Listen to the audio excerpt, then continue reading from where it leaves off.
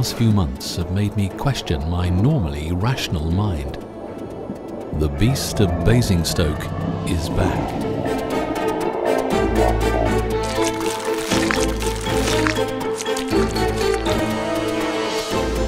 Reports of sightings are everywhere.